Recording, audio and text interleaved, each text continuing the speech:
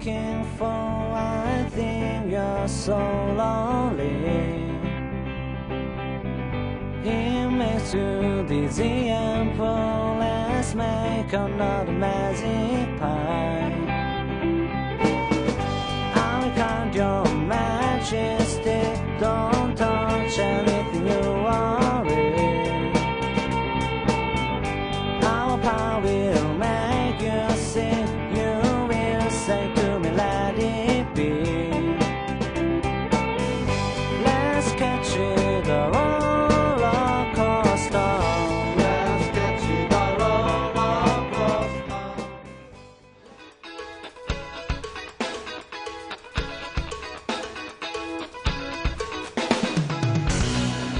안녕하십니까 스타크래프트의 모든 것 About 스타크래프트 진행의 김철민입니다 예, 안녕하세요. 해설의 이승원입니다.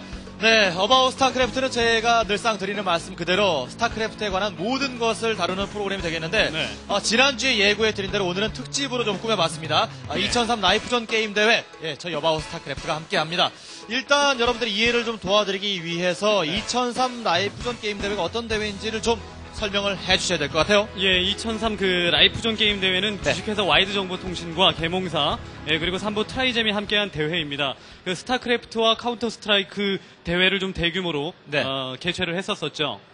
아, 요즘 들어서 그 비공식적인 대회가 많이 숫자가 줄어드는데 네. 이런 큰 규모의 대회가 자꾸 열리면 어, 많은 게임 팬 여러분들 또한 그리고 어, 선수들한테도 굉장히 좋은 기회가 될 것 같아요. 그렇죠. 자, 오늘 2003 라이프존 게임 대회와 함께하는 About 스타크래프트 어떤 어, 또 수업 시간이 준비가 되어 있는지 소개를 해주셔야죠. 예, 첫 번째 코너 About Replay에서는 그 2003 라이프존 게임 대회에서 네. 어, 프로게이머 이벤트전이 있었었거든요. 맞습니다. 예, 그때 초대됐었던 이재훈 선수와 최인규 선수의 Blade Storm 경기가 준비가 돼 있습니다. 네. 예, 그리고 두 번째 코너 About Real Game에서는 진짜 진정한 About Real Game, 그러니까 real game을 다루게 됐는데요. 네. 이건 MBC 게임 그 오픈 스튜디오에서 그 라- 어, 와이드 정보 통신의 2003 라이프존 게임 대회 스타크래프트 결승전을 저희가 중계를 해드리겠습니다. 네. About 스타크래프트가 이 스타크래프트에 관련된 정보뿐만이 아니라 이런 어, 게임 대회까지 방송해드리는 정말 스타크래프트의 에, 종합 정보 프로그램으로 이 변신하는 것 같아서 굉장히 기분이 좋습니다. 네. 자, 2003 라이프존 게임 대회와 함께하는 About 스타크래프트 힘차게 출발하겠습니다.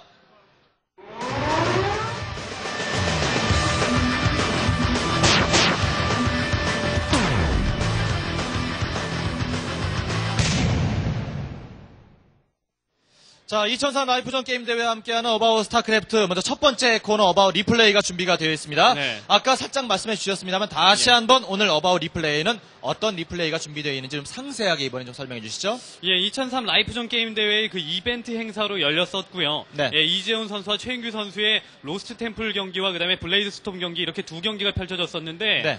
그 중에 Lost Temple 경기는 빼고 예, 아, 빼고. Blade Storm 경기를 좀 중계를 해드리겠습니다. 네. 첫 번째 코너 2003 라이프존 게임 대회 프로게이머 이벤트전으로 펼쳐졌던 이재훈 선수와 최인규 선수의 경기를 About Replay로 시작하도록 하겠습니다.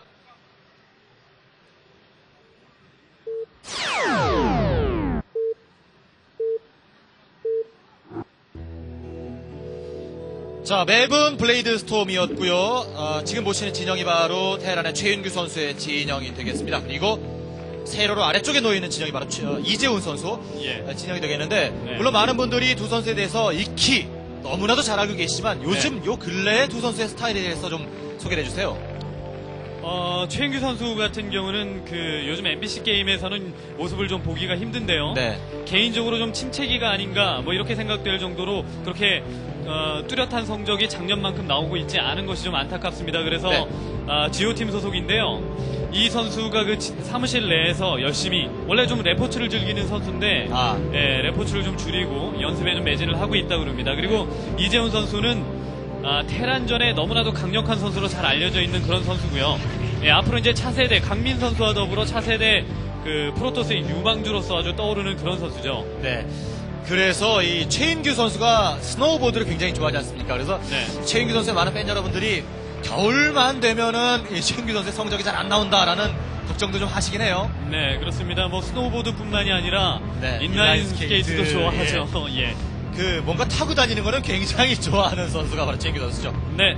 그리고 이 Blade Storm 같은 경우는 그 어, 테란 대 프로토스전 성적, 공식전 성적이 네. 1승 2패로 프로토스가 2승, 그러니까 1승 정도 앞서져 있는 그런 상태입니다. 네. 그리고 그 테란이 거둔 1승 중에 최인규 선수의 승리가 있는데요. POS 팀의 문준희 선수를 상대로 바로 이 starting point 그러니까 11시에서 네. 3factory를 활용한 그 빠른 조이기를 활용해서 문준희 선수를 한번 이겼던 적이 있었죠. 네. 예, 본진에서는 2factory, 바깥쪽에 나와서는 factory 하나를 더 짓고 빠르게 조이는 그런 전략들을 자주 사용하는 것이 최인규 선수입니다. 그리고 이재훈 선수와 같은 경우는 테란전에서 별다른 build가 없어요. 그냥 예, one gate 상태에서 robotics까지 간 이후에 게이트 하나 더 추가하고 dragoon 사거리 up 하면서 네. only dragoon의 그 운영으로서만 테란을 압박하고 그다음에 그 자원으로서만 병력으로서만 승리를 거두는데 일가견이 있는 선수거든요. 그렇죠. 김정민 선수가 About 스타크래프트에 한번 출연을 해서 그런 얘기를 한 적이 있었죠.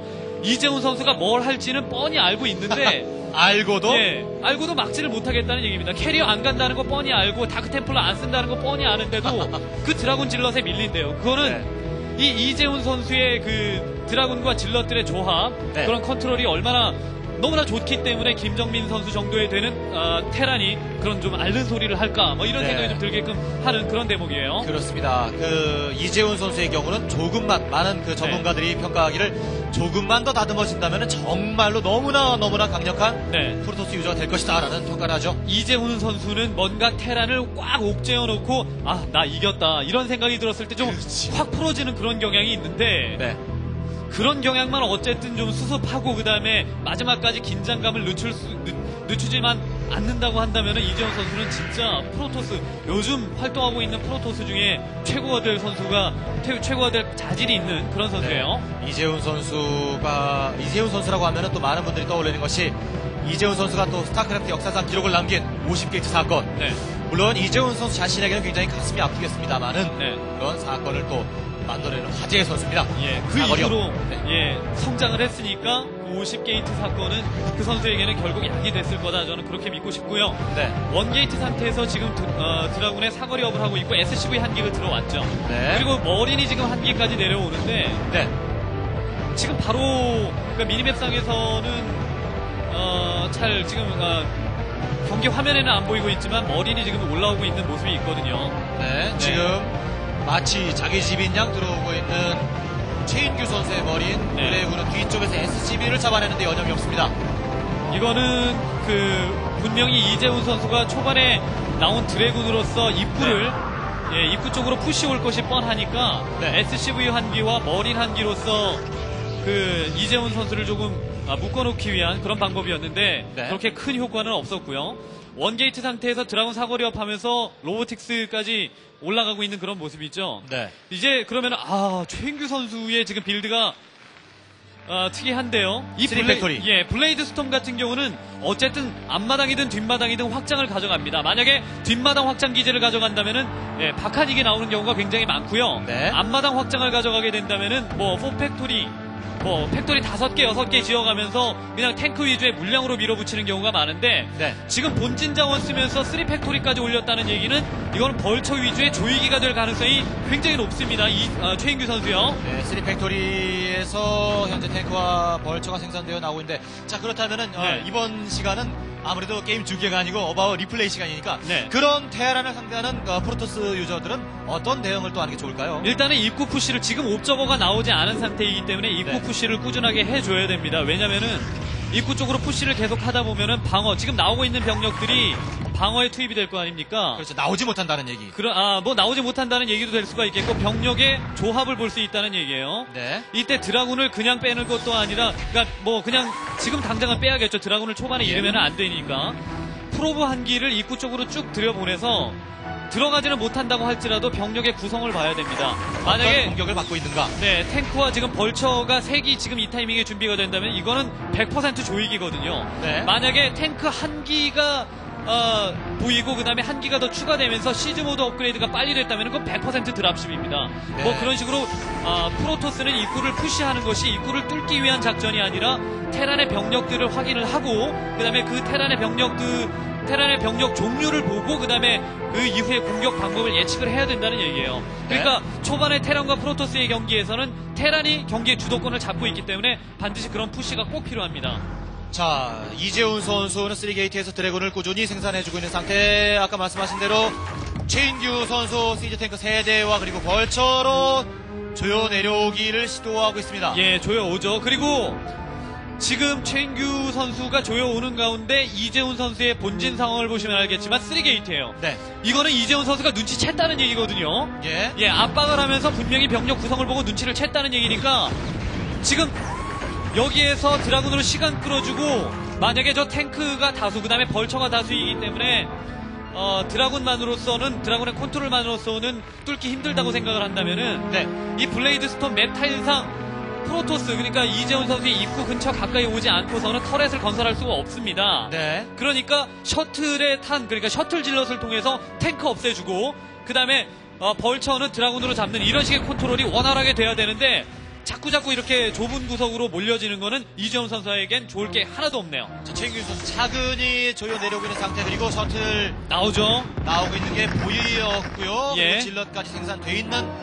모습이 눈에 들어왔습니다. 최인규 선수는 여기서 확장의 욕심을 낼 것이 아니라 예, 병력을 조금 더 물론 이재훈 선수는 지금 타이밍에 확장 안 하면 안 됩니다. 왜냐하면 네. 좁은 구석에 몰려져 있고 좁은 구석에 몰려져 있는 상태에서 그 이재훈 선 아, 최인규 선수가 조여올 것이 뻔하기 때문에 네. 결국 그것을 뚫기 위해서는 물량 소비해야 되거든요. 자, zealot들 하나씩 둘씩 내려왔습니다만 자, 그런데 아, 의해서 최인규 선수가 진짜 잘하는 겁니다. 이런 컨트롤 예전에 아, MBC 게임 그 스타리그에서 김정민 선수가 백영민 선수 상대로 한번 보여준 적이 있었죠. 네. 한 방 모아서 나오긴 나오되 turret을 아끼면서 vulture 다수로 vulture 한 부대를 번호 지정을 하면서 셔틀에서 zealot이 어쨌든 한 기 한 기 내리지 않습니까? 그렇죠. 그 한 기 한 기를 일점사를 해주는 겁니다. 그러면은 turret이 없어 도 탱크의 희생을 최소한으로 줄일 수가 있어요.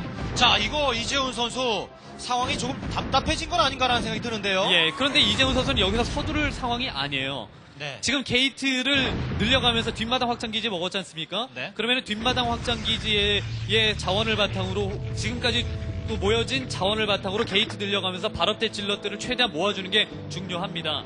네, 여기서 이제 프로토스 입장으로 본다면 많은 프로토스 유저분들이 네. 이 상황이 되면은 네. 당황을 하기 시작하시죠. 그렇죠. 아, 이거 조이면은 안 되는, 조여지면은 안 되는데, 이런 생각 때문에 남은, 그냥 뭐 일꾼까지 끌어들여서 이걸 뚫어보고자 생각을 하시는 분들이 많으신데, 네. 사실 조여지면 안 되는 게 맞기는 맞아요. 근데 서두르러서 이것을 뚫어낼 그 병력들이 아니라는 얘기입니다. 지금 벌처까지, 벌처 다수가 운영이 되고 있고, 탱크가, SCV 까지. 예, 좋은 위치, 그 다음에 SCV가 나와서 터렛까지 건설이 된다 그러면은 뭐 프로브를 동원하든, 당장 지금 상태에서 나와 있는 병력을 동원하든 안 됩니다. 그러니까 최대한 병력 모아서 모아서 한 방에 뚫어야 돼요. 한 방에 못 뚫게 되면 이 경기는 분명히 지는 겁니다. 그렇지 않다면 다른 어떤 활로를 찾는 방법은 뭐가 있을까요? 다른 활로를 찾는 방법은 역시 셔틀에서 찾아야 되는 것이요. 네. 지금 이런 식으로 셔틀을 꾸준히 우- 어, 운영을 해주면서 네. 탱크를 없애주는 그런 방법도 중요하고요. 혹은 셔틀을 이용을 해서 만약에 어, 완전히 좀 시간을 많이 어, 시간이 많이 지난 다음에 나갈 생각을 한다면은 vulture로 저 어, 본진 그러니까 Protoss의 본진 쪽이 어, 본진 쪽으로 난입하는 것만 일단 dragoon으로서 네. 방지를 해주고요. 그렇죠. 이 셔틀을 이용을 해서 발up된 zealot과 그다음에 templar archive가 올라가 있었다면 dark templar 조합을 이용을 해서 Terran이 지금쯤은 확장을 할 상태였으니까 네. Terran의 자원줄에다가 지속적인 타격을 주거나 아니면은 추가되는 병력을 끌어주는 편이 지금으로선 나을지도 모릅니다. 자, 그래서 길목에 질럿들이 대기 중입니다. 그런데 벌처가 지나가네요. 벌처는 무서운 게 아닌데 일단은 자리 좋게 잡은 탱크가 문제가 되는 거거든요. 네. 그래서 탱크가 추가되는 것을 방지하기 위해서 일단 저렇게 병력들을 내려놔서 허리허리를 끊어주는 게 굉장히 중요합니다. 네, 잘 안 끊기고 있어요, 허리가. 내려놓은 지점이 조금 좋지 않았어요. 좀 어, 셔틀의 동선이 멀다고 할지라도 어, 최인규 선수의 본진 근처에다가 질럿들을 내려놓는 편이 좋습니다. 자, 최인규 선수의 병력이 서서히 서서히 이제 이재훈 선수의 진영 가까이 올라온 상태의 셔틀을 억지로 밀어넣으면서 질럿을 드랍을 해봅니다. 스파이더마인에 의해서. 소위 말하는 대박이죠. 네, 이거 라인 폭사 이렇게 되면 한순간에 지금 최인규 선수의 교육기가 허술해졌죠. 그렇죠. 예, 이때가 기회긴 기회인데 지금은 드라군 한쪽으로 무빙 쭉 시켜서 마인 제거하면서 그대로 나가야 될 것 같아요 이재훈 선수. 근데 이 문기적 아. 문기적 하면서 드랍은 정말 저럴 예. 때만 진짜 저럴 때만 도통 말을 안 듣죠. 예. 예. 그 쓸데없이 허리 돌리면서 그 공격하는 골리앗과 마찬가지입니다. 저 때는. 예. 자, 이럴 때 테란으로서는 해야 될 일이 또 뭐가 있을까요? 테라노서 지금 해야 될 일은 확장 지금 뒷마당 확장 기지 가져갔죠. 네. 뒷마당 확장 기지를 가져가든 앞마당 확장 기지를 가져가든 사실 Terran은 상관이 없습니다. 지금 상태에서는요. 네. one 가스에 유지하면서 지금 어, factory를 늘려가고 있는 상태라고 한다면 제 생각에는 뒷마당보다 앞마당 쪽을 먼저 가져가는 편이 낫지 않았을까 이런 생각을 해보는데 왜냐면은 조이면 조일수록 결국 앞 그러니까 초반에 스피디하게 조일 때는 벌처의 구성이 많아야 되지만 나중에 후반에 그 터져 나오는 프로토스의 물량을 상대하기 위해서는 탱크가 많아야 됩니다. 네. 그런 입장에서는 앞마당 확장 기지, 가스 확장 기지를 가져간 이후에 탱크 위주로 생산하는 편이 훨씬 낫고요. 지금 타이밍에서 그래서 앞마당 확장 기지를 가져간 이후에 아머리 짓고 골리앗 소수라도 준비해주는 편이 좋습니다. 네. 자, 이재훈 선수가 셔틀에 질럿들을 좀 태우고 날아갔던 게 보이는데 중간에 드랍십과 아, 이재훈 선수 후퇴하는군요. 드랍십이 어, 최인규 선수의 드랍십이 후퇴라기보다는 여기다 프로브 올려놨나요? 이 최인규 선수가 지금 타이밍에 드랍십에 온 것은 네. 사실 섬 확장 기지 그러니까 9시 쪽에 혹시나. 예, 섬 확장 기지가 있으면 그 확장 기지를 파괴하기 위해서 그 저 드랍십이 날았던 겁니다. 근데 확장 기지가 없으니까 드랍십은 저기에다 대기를 하던가 어 바로 들어왔네요. 뒷마당 쪽입니다. 뒷마당 쪽에 탱크 두 대가 드랍됩니다. 최인규 선수의 대. 자, 이런 그 최인규 선수의 공격도 굉장히 좋아 보이는데요. 이중고를 겪고 있네요 지금은. 자, 말하자면 그 실어 내린 질럿들을 활용해서 최인규 선수의 본진을 좀 공격을 해봅니다만은 역시 본진이다 보니까 아, 이거 신경 못 쓰고 있네요. 예. 이재훈 선수. 그리고 최인규 선, 아, 이재훈 선수의 저 질럿 드랍, 발업된 질럿 드랍, 의도는 굉장히 좋지만 타이밍은 늦었습니다. 네. 사실 더 추가가 되고, 마인 폭사, 그러니까 가장 좋은 타이밍은 아까 마인 폭사 대박이 한번 터졌을 때, 네. 그때 교차하면서 그 대박이 터진과 동시에 이 질럿들이 난입을 했었다면 최인규 선수 추가적으로 조일 병력들이 나오지를 못했을 거예요. 네. 근데 타이밍은 지금 좀 늦었고, 벌처 활용해서라도 이 아, 최인규 선수의 본진으로 들어간 저 질럿들을 아, 막을 수 있습니다. 살아 돌아가지 않는 것 같군요. 드랍십에. 어쨌든. 효과는 볼 건 다 봤죠 지금 드랍십이 돌아다니기 시작을 하면은 섬 확장 기지에다가 지금 최인 그, 이재훈 선수가 확장하기도 참 골아프고요 네. 자, 리퍼에 해주면서 이재훈 선수의 질럿들은 모두 사라졌고요. 네. 자, 이재훈 선수로서는 이제 그 활로를 어떻게 찾아야 될지가 좀 궁금해지네요. 네 이재훈 선수의 답답한 상황은 공격 병력이 나왔는데 쓸모가 없다는 데서 바로 지금 그 모습이 딱 보이는 겁니다 네. 나가지를 못하고 있어요, 예. 전혀. 이렇게 두드려주는 거 좋죠 지금 다크템플러 한기 질럿 한기 드래곤 한기입니다 이거 꾸준히 해줬어야 돼요 아까부터 자, spider mine이 튀어나와서 반응을 보입니다만, 아. vulture가 잡힙니다. 네 그렇죠. 아까 말씀하신 대로 타이밍이 조금 늦지 않았나라는 생각을 좀 해보네요. 늦은 감이 있죠 자, 나왔던 병력은 모두 또 다시 사라지고 마는 이재훈 선수. 어차피 아 이거 조여졌다 도대체 못 뚫겠다 map의 특성상 Blade Storm 한번 조여지면은 나오는 길목이 이렇게 비약적으로 그렇죠. 좁기 때문에 구부러져 있죠, 더군다나. 예, 비약적으로 좁기 때문에 못 뚫지 않습니까? 네. 그럼 이렇게 Lost Temple에서도 이런 상황 나올 수 있어요. 8시 쪽에서 조여지거나 뭐 6시 쪽에서 조여지거나 마찬가지입니다. 이럴 때는 일단은 허용하십시오. 만약에 게이트가 게이트를 확보를 했는데도 못 뚫겠다면 일단은 허용을 해주고 high templar를 빠르게 개발을 해서 high templar로 앞쪽에 있는 그 탱크 쪽에 테러를 가해주거나 아니면은 Terran의 자원줄에다가 SCV에다가 타격을 주기, 주는 그런 방법들을 빨리 아, 생각을 하는 편이 훨씬 좋습니다. 아, 이재훈 선수 막상 뚫는 것도 아니었고요. 예, 이건 힘들어요 지금 이재훈 선수. 어떻게 결정을 내릴 만한 상황이 아닙니다. 역시 테란의 조이기는 무섭군요. 많은 프로토스 유저들이 가장 또 싫어하는 것 중에 하나가 바로 테란의 조이기인데 그 조이기를 허용하고만 예. 어, 이재훈 선수. 이때는 하이템플러의 움직임이 굉장히 중요한데 하이템플러를 공격용으로 뭐 쓴다기보다는 공격을 할 때 이재훈 선수 같은 경우는 공격을 할 때는 질럿 바로 때 질럿과 그다음에 드라군 다수로서 공격을 하지 않습니까 셔틀과 네. 함께 주로 그렇죠. 예 그런데 방어를 할 때는 하이템플러가 굉장히 유용한 경우가 많아요 네. 예 벌처를 다수를 벌처 다수를 제거를 한다거나 자 이런 식의 공격이죠 늦었지요. 네. 자, 이때는 뭐 저런 의도 굉장히 좋습니다. 그래도 자, 사이코 엄청 두번. 연속. 이것이 지금 kill수가 10이나 기록되어 있는데 네. 이것이 빨랐다면은 상황은 또 몰랐습니다만은 이렇게 그 high templar로 테러를 가면서 타이밍 딱 맞춰서 지금 이 병력들이 앞으로 탁 치고 나가줘야 되거든요. 되는데 이거 못 뚫으면 이재훈 선수 더 이상 기회가 없는 겁니다. 병력 다시 못 모으거든요. 자 dragoon이 말을 듣지 않습니다. dragoon이 입구에서 걸리적거리는 거리는 순간에 나가면서 계속해서 시즈 탱크의 포격을 받는 상황. 아, 네. 그래도, 그래도 뚫어내는 이재훈 선수네요. 네. 자, 뚫기는 뚫었죠. 뚫기는 뚫었는데 문제는 뭐냐면은 네. 테라는 앞마당 확장 기지까지 했어요. 그런데 아. 이렇게 또 테러가 들어옵니다. 이게 지금 이재훈 선수의 마지막 자원줄이라고 한다면은 이거는 완전히 뚫으면서 병력 잃었죠. 자, 네. 이 뚫은 병력으로 테란의 앞마당 기지까지 날릴 수 있, 습니까 없다는 얘기입니다. 그러는 가운데 자신의 자원적인 타격을 입을 수밖에 없다면은 딱 이 구도는 Protoss가 질 수밖에 없는 구도예요. 자, 나갔던 병력들이 다시 돌아오는데 이미 자원줄과 S, 어, SCV래요. probe는 좀 잡힌 상황이지 않습니까? 네, 그리고 이제 어쨌든 최인규 선수 같은 경우는 command center가 3개면은 3개라고 한다면 거기서 추가되는 그 SCV 양이 동시에 3개씩 추가가 되기 때문에 네. 예, 이거는 뭐 SCV 아까 그 타이밍에 잡아줬다고 하더라도 금세 보충을 할 수 있을 만한 타이밍이거든요. 네, 아, 이재훈 선수 굉장히 빈약해 보이는데요. 네, 이재훈 선수가 이 타이밍에 이제는 뒷마당에 probe 채우면서 앞마당 확장 기지까지 가져가야지만 그래도 이재훈 선수가 게이트를 확보한 만큼 유닛이 쏟아져, 쏟아져 나올 수가 있을 텐데 네. 지금 그럴 상황이 아니고 Terran의 조이기는 다시 들어옵니다. 그렇죠. 지금 네. 예, map 중앙에 보면은 이미 노란색 점들이 이렇게 포진이 예, spider mine입니다만은 네. 되어 있는 모습이 눈에 들어오죠. 자, 여러 가지 시도하나요? 예 지금 앞마당 취소할 수밖에는 없어요. 섬 확장 기지는 드랍십 때문에 안 되고요. 네. 확장은 가져가야겠고. 예 테란에 지금 모여 있는 이병력만 딱 내려가도 프로토스가 막기가 너무 힘들고요. 네. 그 다음에 이재훈 선수 여기까지 경기가 흘러와서 뭐 드리는 말씀이지만 여러 가지로 타이밍상 좀 셔틀과 그 다음에 앞에 뚫는 그런 병력의 선발이 좀 안 맞은 면이 있었죠. 공격 일단 나가기가 여의치 않습니다. 이미 어, 최인규 선수는 자리를 잡아 있는 상황이고요. 네. 후속 병력도 속속들이 도착을 하고 있습니다. 자, 그 한순간에 조이기 병력이 굉장히 그 곤란하게 만드는데요. 하이 템플러만 또한 잡아내고 있는 최인규 선수 그리고 뒤에서는 시즈 탱커 포격을 퍼붓습니다.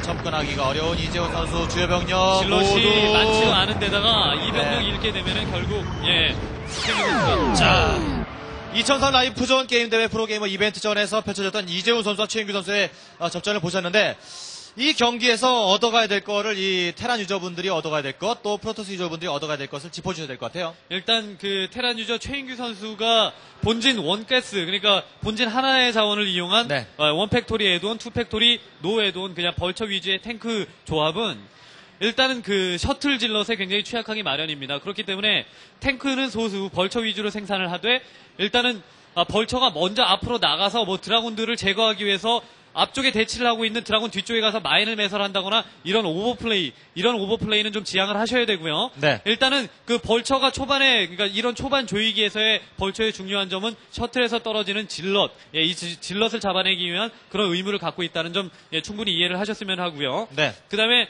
어, 이재훈 선수는 한번 조여진 이상 일단은 조여지고 나서 뚫지를 못하겠다 생각이 되면은 최대한 그 템플러 archive를 빨리 간 이후에 셔틀을 최대한 이용을 해서 그 최인규 선수의 자원 쪽에 좀 타격을 주거나 테러. 아니면은 그 팩토리에서 추가가 돼서 앞마당 조이기 쪽으로 지원을 오는 탱크나 벌처의 어떤 존재를 중간에서 좀 끊어주기 위한 방법들을 미리 좀 생각을 해봤으면 어땠을까 네. 뭐 이런 생각을 해봅니다. 많은 테란 유저분들이 일단 조이기를 해놓으면 거기에 온통 신경이 집중이 되죠. 네. 그럴 때 테러를 네. 좀 가해보는 게 좋을 것 같다는 아, 얘기였습니다. 네. 자, 그럼 다음 코너는 about real 게임이 되겠는데 2003 라이프존 게임 대회 결승전과 함께 하시겠습니다.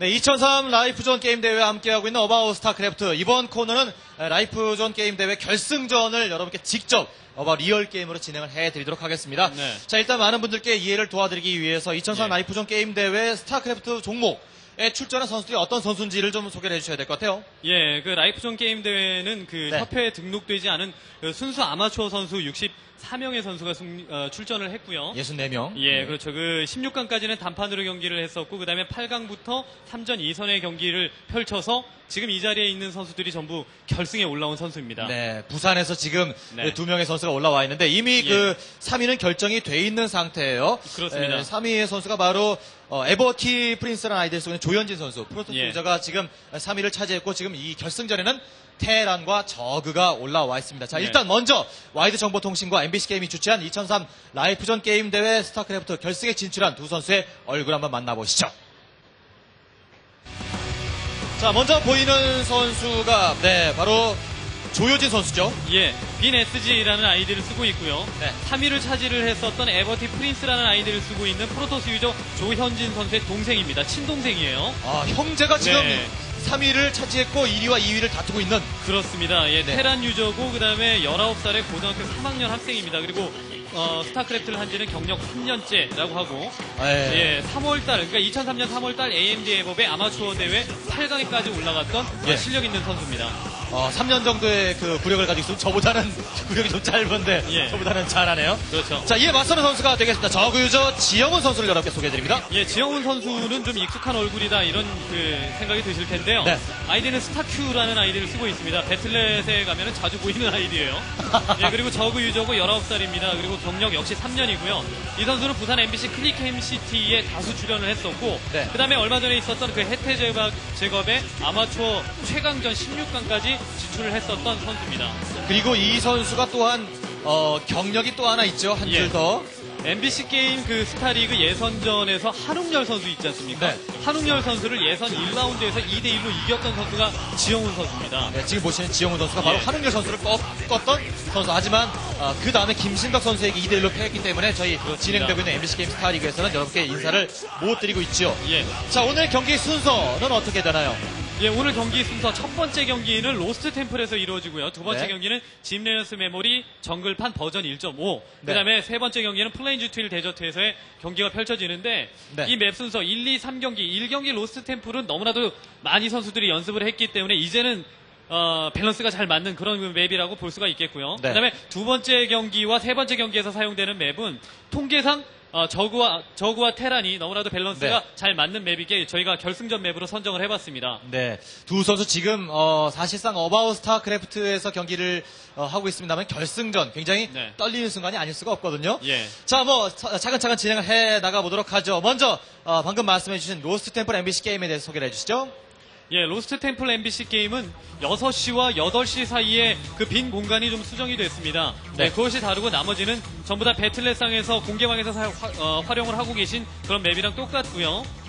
일단은 이 로스트 템플 같은 경우에는 어, 지영훈 선수는 그런 얘기를 했었어요. 테란전에 나는 너무나도 자신이 있다. 네. 그렇기 때문에 테란이 어떤 스타팅에 걸릴지라도 나는 자신이 있는데 일단 자신이 어, 2시 쪽에 걸려서 일단 3해처리 체제에서 어쨌든 아, 뮤타 저글링으로서 빈집을 많이 털어보겠다 뭐 이런 얘기까지 잠깐 살짝을 했었 살짝 얘기를 했었습니다. 네. 근데 로스트 템플 같은 경우는 스타팅 포인트에 대한 전략들이 너무나 무궁무진하고 그렇지요. 그다음에 조효진 선수 같은 경우는 그 상대 스타팅에 따라서 전략들이 무궁무진하게 많이 바뀌는 좀 프리스타일 테란이라고 잘 알려져 있어요. 어. 그렇기 때문에 지영훈 선수의 예전에 그 MBC 게임 스타리그 예선전 경기를 제가 좀 보니까 한웅렬 선수와의 경기를 보니까요. 네. 굉장히 안정적인 가운데 기본 기본기가 탄탄한 저그 유저가 지영훈 선수고 네. 그다음에 조현진 선수 같은 경우는 좀 임요환 스타일의 좀 전략적인 선수. 그러니까 아. freestyle이에요. 어떤 특정한 스타일 이 맵에 이 스타팅에는 반드시 이걸 한다가 없습니다. 네. 그렇기 때문에 초반 압박서부터 시작을 해서 지영훈 선수를 괴롭혀줄 초중반에 괴롭혀줄 카드가 굉장히 많은 선수 가 이 조효진 선수라고 어, 소개를 드릴 수가 있겠네요. 많은 분들이 이런 스타일의 선수들을 굉장히 좋아하는데 두 네. 선수가 모두가 지금 결승전에 올라와서 경기를 치르게 되겠습니다. 자, 그럼 진행을 해보도록 하죠. 어바웃 리얼 게임 2004 라이프전 게임 대회 스타크래프트 종목의 결승전 조효진 선수와 지영훈 선수의 경기를 여러분의 뜨거운 함성과 함께 시작하도록 하겠습니다.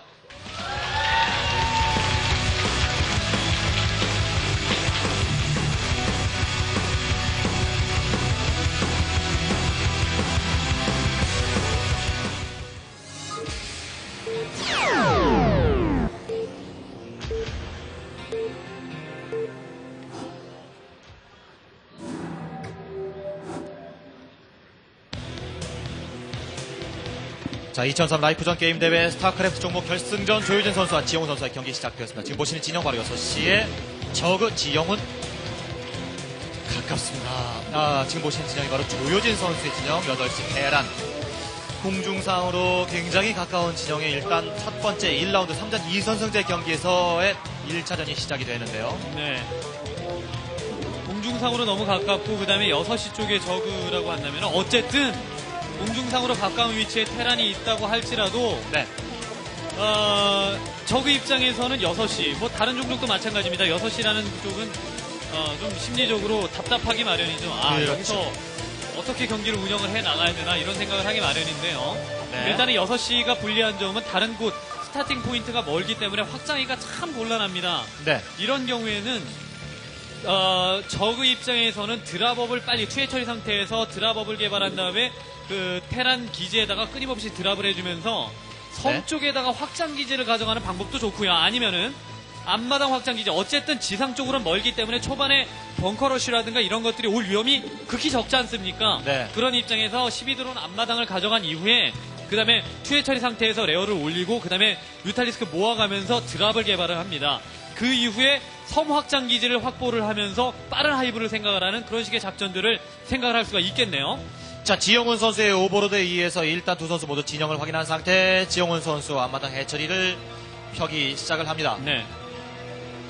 자, 이 두 선수, 어, 요즘은 뭐, 워낙에 스타크래프트가 널리 보급이 됐고, 많은 분들이 게임 연습을 하기 때문에, 정말 아마추어들 사이에서도 굉장히 수준 높은 경기가 펼쳐지지 않습니까? 예, 물론입니다. 예, 아마추어 선수라고 할- 어, 뭐 한다고 할지라도 일단은 로스트 템플에서의 경기량이 많으니까 프로 못지않게 많으니까 네. 로스트 템플에서의 전략이라든가 컨트롤 네. 그다음에 경기 운영 방법은 프로 못지 않다고 저는 자신을 예. 합니다.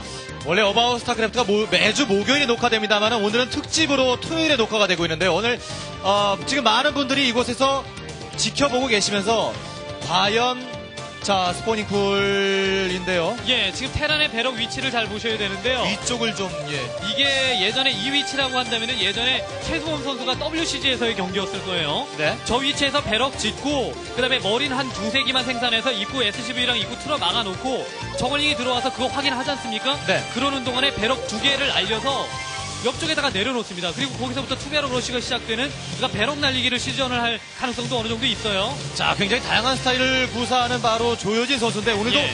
무언가가 좀 독특한 네.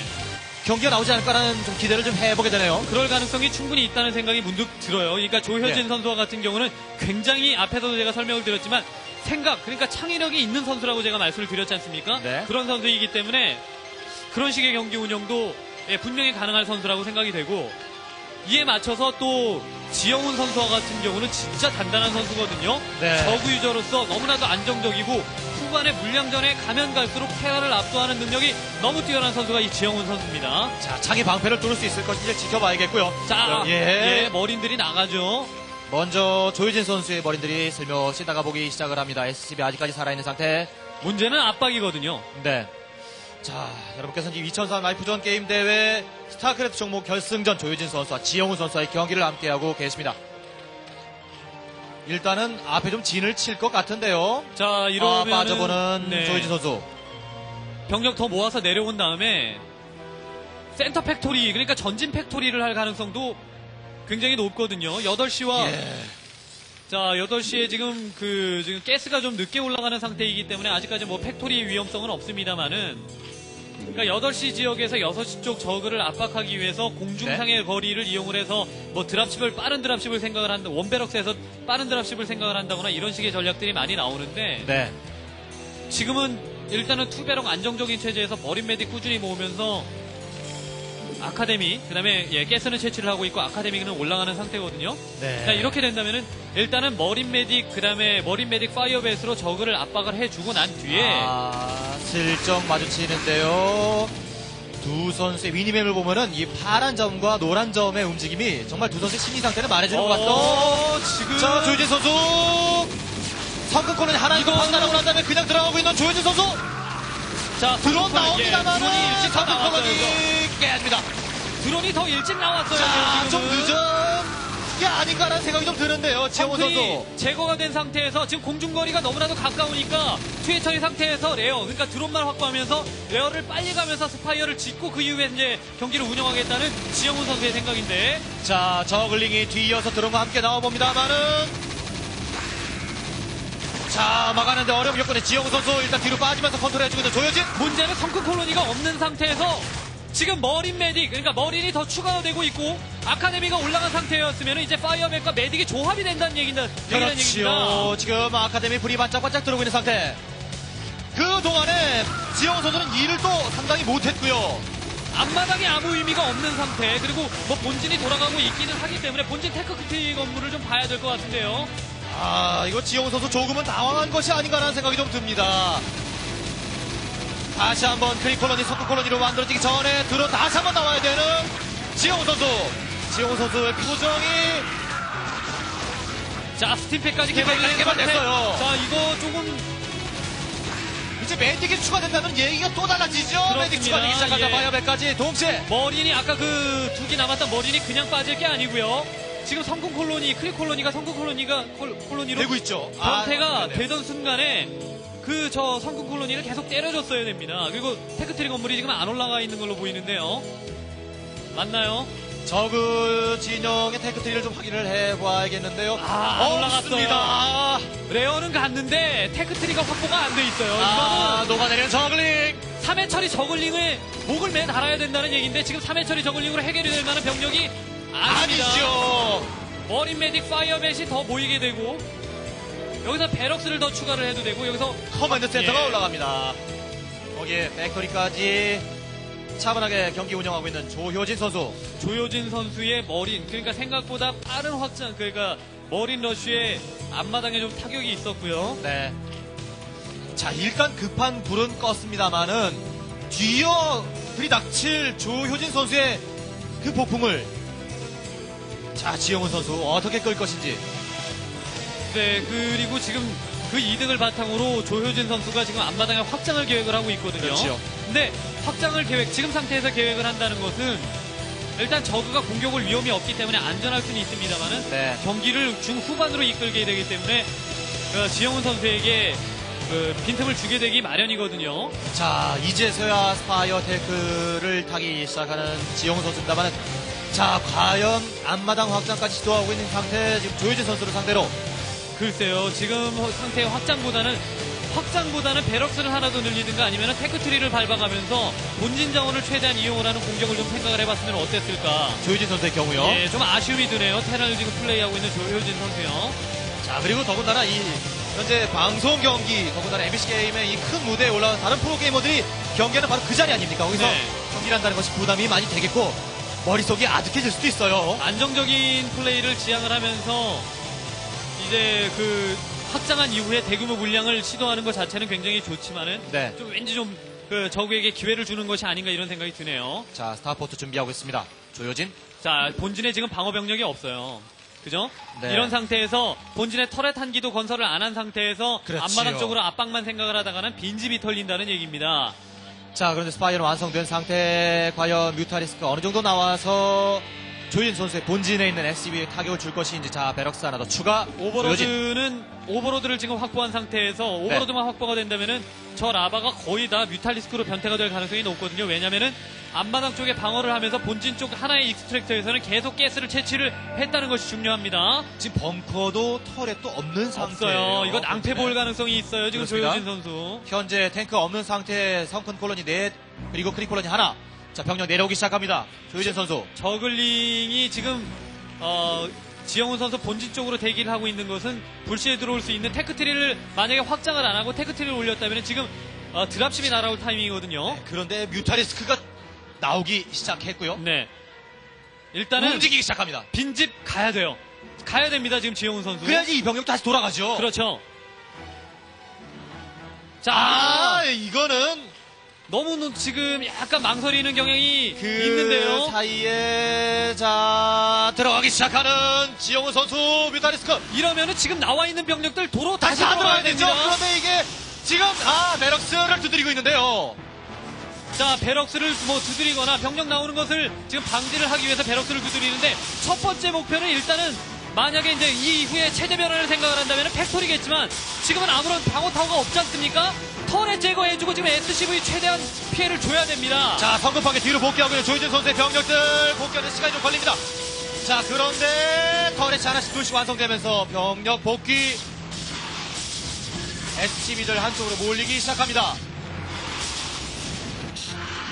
자, 이제 뮤타리스크의 활용도가 또다시 조금 떨어질 때가 되지 않았나 생각이 좀 되는데요. 그 예. 피해를 봅니다. 지영훈 선수 조금 더 침착하게 생각을 하자면요. 이 네. 뮤탈리스크는 어쨌든 본진에서 머린 메딕에 쫓기기는 합니다만은 계속! 예 본진 쪽에서 머린 메딕 주병력 그러니까 테란의 주병력의 시선을 끌어주고 있지 않습니까? 네. 이 동안에 모아놨었던 저글링을 가지고 앞마당 쪽에 타격을 주게 된다면은 테란은 이중고를 겪을 수밖에. 없어요. 자, 뮤타리스크와 저글링의 활용이 과연? 그렇죠. 그런데, 자, 계속 보여주는 것만으로도 지금 병력이 나가질 못하고 있는데, 일단은 보여주고 나서 저글링은 앞마당 쪽으로 달려주는 게 중요합니다. 저글링이 안 가고 있어요. 앞마당의 털에는 이미 지어놨거든요. 그래서 뮤탈리스크가 그렇게 큰 힘을 발휘를 하지는 못한다고 할지라도 저글링은 다- 사정이 다릅니다.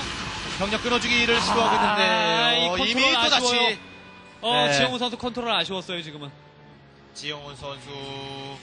자, 언덕 위쪽에서 좀 노려볼까 생각을 하고 있는 중인가 본데요.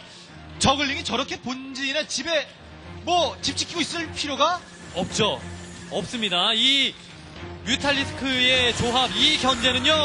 아, 아, 이렇게 되면서 이거는 큰데요. 진짜 큰데요. 지영훈 선수. turret만 일단은 아무런 확장 기지가 없는 상태에서 체제 변환은 생각하고 있지 않지 않습니까? 네. 그러면 only muta 체제로 시간을 많이 좀 끌어야 된다는 얘기인데 그래도 병력을 적잖게 모아놨습니다만은 zergling은 모아놨죠? 일단은 그렇다고 한다면 모아놨다고 할지라도 지금 나오는 주력 병력을 말릴 만한 병력은 아니고요. 그리고 문제는 science vessel이 준비가 되어 있다고 한다면 science vessel의 그 irradiate가 정말 공포스러울 수밖에 자, 없거든요. 노란색 줄이 줄줄이 줄줄이 지영훈 선수의 진영 쪽으로 가기 시작합니다. science vessel과 그리고 탱크까지 추가가 되겠죠. sunken colony는 시간 끌는 수단밖에 될 수 없는 상태. zergling, zergling, mutalisk 다수. 자, 이 병력으로 뭔가 하나 아, irradiate가 irradiate에. 의해서 자, 노동 받기 시작했어요. 어, 비벼지는데요. 어, 지영훈 선수 mutalisk 좀 빼줘야 되잖아. 예. 체제 변환에 mutalisk의 양만 보면은 체제 변환에 지금 체제 변환을 했는가 아닌가를 확인할 수가 있지 않습니까? 네. 만약에 lurker가 없다고 lurker가 조합이 안 됐다고 한다면은 탱크는 소수만 필요하고 그 남는 가스는 전부 다 science vessel에 투자를 하면서 더욱더 테라는 압박하기가 쉬워진다는 얘기입니다. 자, 탱크, siege tank 두 대 포격이 시작된다. 저 sunken colony 다섯 개만 제거되면은 기다리고 있는 조효진 선수의 테란 병력이 본진으로 밀고 들어오지 않을까 생각되는데 그 상태 mutalisk가 좀 활약을 해줘야 될 텐데요. 그렇죠? 자, 병력이 집을 비운 상태에 그런데 sunken colony 모두 제거가 된 상태. 아, 그 다음에 앞마당 쪽으로 와야 들어오기 됩니다만 공격력 시작합니다. 1단계 업그레이드 marine이에요. 녹아내리는 zergling과 mutalisk 뒤쪽으로 컨트롤 해주고 있는 조효진 선수. 이 병력 모두 소진되면은 그 지영훈 선수는 병력이 자, 남지 않은 상태. science의 irradiate 여기 병력 피해가 너무 크지 않습니까? medic이 결국은 테란의 병력이 남았어요. 남아 있습니다. 그리고 자 본진 안에서 지금 병력들 주병력들이 생산되고 있는 것은 모두 다 앞마당 쪽 그러니까 지영훈 선수의 앞마당 쪽으로 출발을 하게 될 것이고 그다음에 지영훈 선수 같은 입장에서는 네. 지금 이렇게 테란의 병력 잡아놓고 그다음에 테란의 본진 쪽으로 견제를 갈 수가 없습니다. 지금 command center가 하나 더 올라가고 있는 상태고요. 더군다나 보호면역세의 병력이 쏟아져 나오고 있는 상태입니다.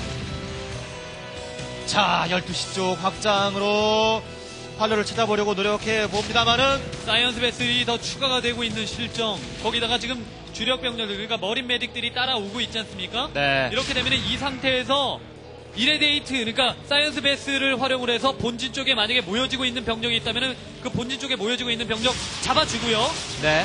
이 병력들 상대를 해주고 나머지 추가되는 병력들은 12시 쪽 확장기지 밀어도 됩니다 네, 그렇죠. 네 지영훈 선수 자, 지영훈 선수의 본진을 지키고 있는 병력이 그다지 많지 않은 듯 공이란 마을인들 불을 뿜어대고 있습니다. 이레데이트 걸려있는 뮤탈리스크 지금 컨트롤하기도 바쁘죠 네. 아 이러면은 이제 지영훈 선수 정말 암울합니다 이미 병력이 본진 안방까지 두드리고 있는 상태. tech tree 무너지죠. 화역 깨집니다. 조효진 선수의 초반 그 허를 찌르는 생머린 러쉬에 그냥 어, 앞마당 확장 기지가 한참 있다가 돌아가고 또 그렇죠. 드론들이 많이 피해를 입은 것이 결국 이런 결과를 불러일으키게 됐네요. 베럭스 6개인데요. 네. 그러나 운영하고 있는 병력은 진짜 단촐하지 않습니까? 네. 예. 자, 사이언스 베슬, 사이언스 베슬 수상합니다. 수상합니다. 예, 지우개는 나오지 않네요. 지우개를 해도 상관은 지금 사실은 없어요. 스파이어 깼거든요. 어, 수상한데요, 수상한데요. 그렇죠. 지우개, 사이언스 베슬, 지우개 시도. 아, 지영은 선수, 2중, 3중, 뭐 드론이 모두. 사이언스 베슬, 아, 이거는. 자, 여기는 그렇죠. 아까 제가 말씀을 드린 대로 여기는 이레디에이트로 지지, 지지 선언! 지영은 선수, 지지 선언! 조효진 선수가 3전 2선수 인데 먼저 첫 번째 경기를 승리로 가져갑니다. 지영은 선수의 모습이 눈에 들어오고 있는데요. 아, 글쎄요, 이것은 어떤 그런 커다란 그런 어, 접전에 의해서 승부가 좌우됐다기보다는 단 한 번에 네. 아까 말씀하신 그 오- 온리 머린 네. 생마린이라고 하는 네. 그러니까 매딕이 붙지 않은 머린 러쉬를 통해서 이 지영훈 선수가 예측하지를 못했던 타이밍에 그러니까 성군 콜론이 하나 있는 타이밍에 와서 성군, 콜론- 성군 콜로니를 깼고요. 네. 그 다음에 드론들과 그 나머지 이제 초- 소수밖에 없었던 저글링을 잡아내면서 네. 앞마당을 최대한 늦게끔 돌아가게끔 만들어줬거든요. 네. 그리고 그 이후에 이제 확장을 하고 어, 그 다음에 잠깐 확장을 하면서 지영훈 선수에게 시간을 줬습니다만 지영훈 네. 선수가 그때 모았던 뮤탈리스크를 통해서 그렇게 큰 재미를 보지는 못했습니다. 네. 본진 쪽을 두, 두드리던 가운데 앞마당 확장 기지가 돌아가고 있었던 그런 상태였거든요. 네. 그런 점에서 아쉽다면은 일단은 좀 어, 각계격파, 좀 성동격서의 공격들을 좀 지영훈 선수가 그 타이밍에 해줬었더라면은 보다 다른 결론이 나오지 않았을까 이런 생각도 해보지만 네. 일단은 조효진 선수의 초반부터 이루어지는 재치 넘치는 공격들이 너무 네. 좋았습니다. 아까 말씀하신 그런 스타일이 있는 네. 플레이 돋보였다고 생각되고요. 하지만 3전 2선 승제 그리고 상대방 지영훈 선수는 한웅렬 선수를 또 격파하고 하마터면 MBC 스타리그에 올라올 뻔했던 그런 네. 선수가 되겠죠. 네. 잠시 후에 2부에서 계속되는 조희진 선수와 지영훈 선수의 2004 나이프전 게임 대회 스타크래프트 종목 결승전이